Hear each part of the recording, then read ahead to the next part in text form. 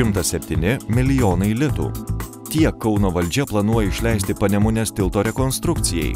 Tiksliau statybai, nes senąjį tiltą ketinama praplatinti iki keturių eismo juostų.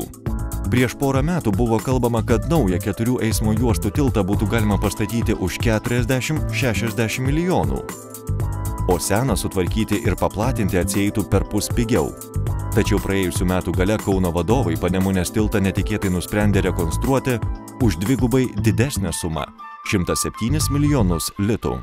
Tai, kad suma yra kosminė pripažįsta ir Kauno meras Andrius Kupčinskas, tačiau jis vilėsi, kad per konkursą jis sumažės. Iš kur gauti tiek pinigų? Ar šis miesto tarybos sprendimas yra pakankamai pagrystas? Kauno vicemeras liberalas Rimantas Mikaitis tuo abejoja.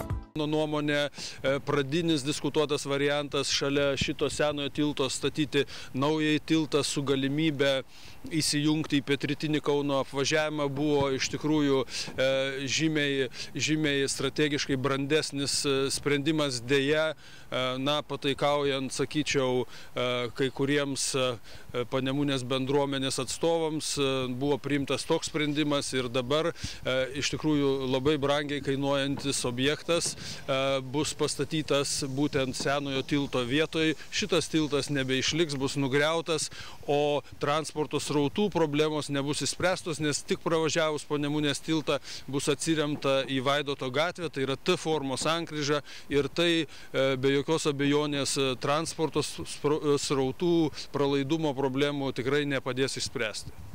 Atvykęs į Kauną susisiekimo ministras Eligijus Masiulis kartu su partijos kolega Mikaičiu apžiūrėjo avarinį Panemunės tiltą.